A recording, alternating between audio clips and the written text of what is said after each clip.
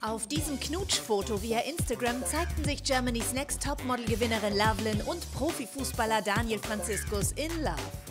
Daniela Katzenberger hat keinen zum Knutschen, aber zum Kuscheln. Ihre drei Stubentiger Lulu, Romeo und Pipilotta weckten sie heute schon um 5 Uhr morgens. Auch Tennisass Sabine Lisicki hat tierischen Besuch in Melbourne. Den will sie ihrer Facebook-Community natürlich nicht vorenthalten. Nach Heidi Klums Zitronensaft-Diät nimmt sie nun an Tag 5 langsam wieder normale Nahrung zu sich, wie sie auf Instagram zeigt. Oh oh, was sagt ihr, schreibt Alena Gerber auf ihrer Facebook-Wall und zeigt sich plötzlich brünett statt blond. Die meisten glauben, es ist nur eine Perücke. Auch Marie Nasemann will sich haartechnisch verändern. Wie will sie ihren Fans erst später verraten?